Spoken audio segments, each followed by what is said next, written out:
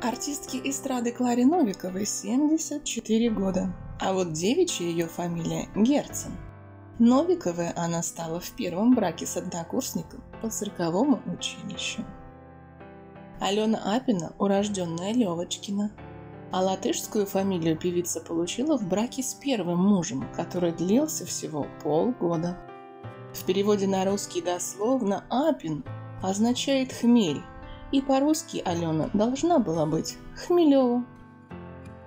Юлия Снегирь в девичестве Сирискина. И фамилию первого мужа актриса взяла специально. Она посчитала ее более звучной для сценической карьеры. Вика Цыганова, Жукова, со своим первым и единственным мужем, в браке с которым певица официально была всего один год, она продолжает жить в своем загородном доме в Подмосковье. А вот детей у пары, к сожалению, нет. Любовь Успенская в девичестве Сицкер. Родилась в Киеве в семье еврея, а фамилию Успенская певица взяла во втором браке из четырех. Равшана Куркова сменила свою девичью фамилию Матчанова еще в первом браке. Катя Гордон оставила себе знаменитую фамилию мужа. С телеведущим Александром Гордоном Екатерина Прокофьева прожила 6 лет. Актриса Алена Бабенко на самом деле Елена Баранова, а озвученная фамилия досталась ей от первого мужа, режиссера Виталия Бабенко, от которого она родила своего единственного сына Никиту.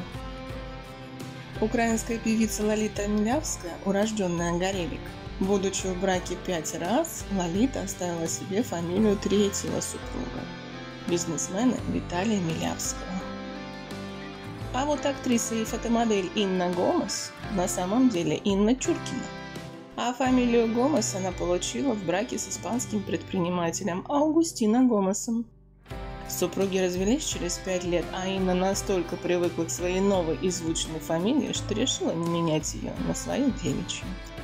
Мы публикуем новости и пишем о том, что интересно. Присоединяйтесь, если и вам интересен мир звезд, знаменитостей и шоу-бизнеса. Лайфхаки и полезные советы для дома и семьи.